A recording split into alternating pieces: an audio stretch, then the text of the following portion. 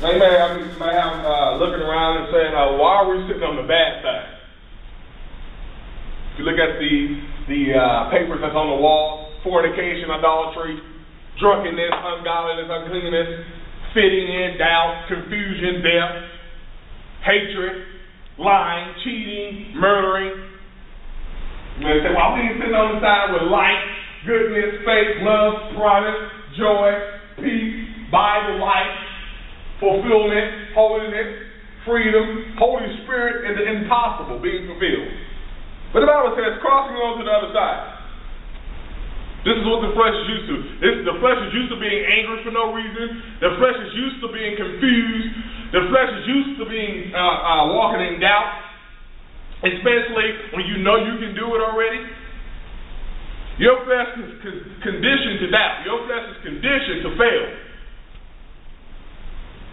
Sometimes you feel like it, sometimes you don't. Sometimes, sometimes you feel like praying. Sometimes you feel like reading your Bible. Am I talking to anybody in here? Sometimes you feel like praying for people and you don't. Sometimes you don't. And this is where our flesh is sitting, right here. Right here. Some urges, some desires rise up in us as being men and women of God that on this side we give into them. On this side and your flesh is already conditioned to start procrastinating. As being college student, our flesh is already being conditioned. Oh man, we should start a class. I ain't got to study. Oh, I, we we ain't got no papers yet. Oh, I don't need to read chapter one. I'll get to that later. I'll get to that later. We already we already walking on this side on this side when God has revealed to us or introduced us to that side. Uh huh. We we pushed away every godly person in our life. Am I talking to anybody out there? Oh, I know I am. We push away all godly people. We push away church. We push away God Himself. We push away the Bible. That's why we find ourselves uh, falling to every trick of the enemy because we don't, first of all, we don't know the trick, and, and then second of all, we don't have no power to go against the trick. But it's time to stand up in power. Stand. What does that mean? Having are maintaining an upright position. Maintaining an upright position. How many of y'all have stood for a long period of time? What is your first urge? After a long period of time, what do you want to do after you've been standing all day? Sit down. Now, can I bring it to you, to, you, Christians? What do you feel like doing when you when you when you've been been uh, um, um, bringing forth peace all your life, been bringing forth truth all your life, and been bringing forth light all your life, goodness all your life? What do you feel like doing spiritually? Taking a break. Taking a break, which means literally sitting down, postponing the deliverance of others. You might want to write that down postponing the deliverance of others when you don't walk in your deliverance. Power. Standing up in power. This is this is and this, is, this ain't nothing spiritual. This is just common sense. Standing up in power means you're gonna take a bath. Standing up in power means you're gonna brush your teeth. Standing up in power means you know you're gonna get your do done. You know, you know get your nails did, but don't put them like that. Okay, but you know. can be like stretching everything like a cat. But, you know, crossing over to the other side, that's when we got to stand up. Instead of Now, the Bible says, the Bible says it's all right to be angry. That's what the Bible says, right? But he said, don't let the sun go down upon your anger. Amen. Sin, sin not. That don't mean you gotta slash nobody's ties because you angry. That don't mean you gotta you gotta uh, uh, uh, uh pop a cap with somebody's butt because you mad. Hey, hey, that, hey, ladies, that don't mean you gotta pop a cap in the baby's daddy because he don't pay child support. And men, if you, oh goodness, right. if you if you had the authority and you stood up to lay down there and take a half the baby, did what it take to have the baby, you should do what it take to take care of the baby. Amen.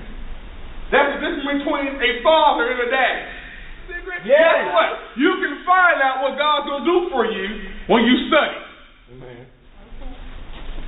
I'm not just talking about butts. I'm not talking about chest. I'm not talking about pornography. I'm not talking about uh, uh, drinking and, and, all that kind of stuff. I'm talking about studying the living Word of God. Amen. And when you study the living Word of God, the Holy Spirit reveals to you revelation and knowledge. Uh-huh. Revelation and knowledge is not given to you by any man, but the Holy Spirit. Uh-huh. Revelation knowledge can be your new car. Revelation and knowledge can be your new house. Revel- Boy, I feel I feel good tonight, boy. I, I must have Stand up in power. Stand up in power. Reading your Bible. Christians are getting away from studying their Bible. Amen. Why is that? Because you don't believe it's true. Yeah, you don't want to lose membership. Oh, you don't want to lose membership? Guess what? Guess what else you're losing then? If you don't want to lose membership, you're losing souls. I'm going to say that one more time. You don't want to lose membership? Guess what? You're losing shelf souls. Because you're causing souls, you're causing souls to walk in confusion now. And along with that confusion, walk in rebellion. And along with their rebellion, walk in what they want to do. Reprobate mind. The Bible speaks about in Romans. Mm-hmm. Everybody been studying the Bible? Reprobate mind. And when a person enters a reprobate mind, it's the Holy Spirit. The only, only thing that converts them, can convert them from a reprobate mind is the Holy Spirit. A reprobate mind is like, hey, how many of y'all got like little brothers and sisters? How many ever told your brothers and sisters to stop doing this? And they're like, no. why? Why? Mm, why? Why do they keep doing it? They're used to doing it along with across the other side. And the Lord wants sometimes He wants to blow your mind sometimes. Mm-hmm. He wants to blow your mind. Now on this side, He can't blow your mind because you're so with doubt, shame, feeling un, uh, unwanted. Man, nobody want me, man. Oh, I ain't gonna never go on a date. Am I in somebody's closet? You know, they don't like me. Oh, come on. Come on. I mean, let me, let me, Ooh. okay, let me let me reveal something. Maybe they'll come by me. No. Because when you do things the wrong way, all you attract is wrong thing. You attract the wrong thing when you start doing it with the wrong motives. When you start compromising, you, you attract the wrong thing. Yeah, the answer can be right there on the on the table, y'all. You got a choice. Whoa. Teacher ain't here. We got a substitute. Okay.